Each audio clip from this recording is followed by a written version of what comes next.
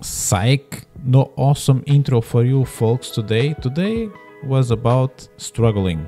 So you see me here on about one hour going on two different creeks, uh, main river and about I made 40 stops to cast and I was not managing to land anything or even having any bites even with a small small fly hook jig head until right I don't know what it is. Oh decent. I'm hyping myself up. Don't go there. I was so depleted of confidence that I even struggled to land the fish. Not struggle on the size that I was about to lose it, but just struggling to pull it up and reach it.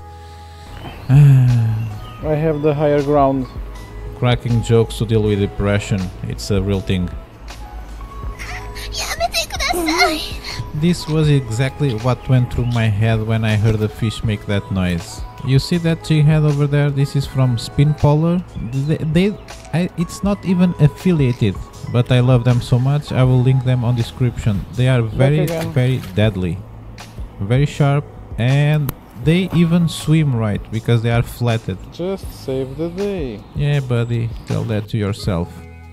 Even the sun started to shine after I caught that fish. And I'm on my last 10 minutes of the session, so I decided to put on a little tuck crankbait, a very very small one. And almost got something Catch ah, it fish. I'll see you guys on my next video. Bye.